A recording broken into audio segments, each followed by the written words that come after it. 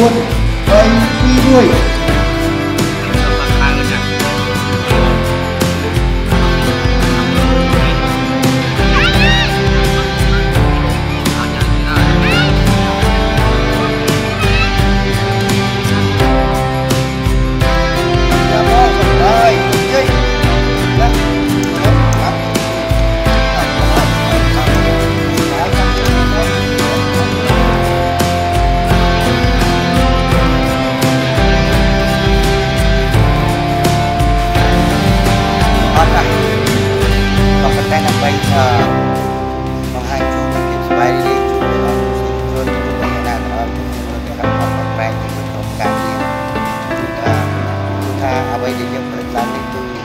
ចង់បង្កើតភាពស្វែងរីកពិសេសសម្រាប់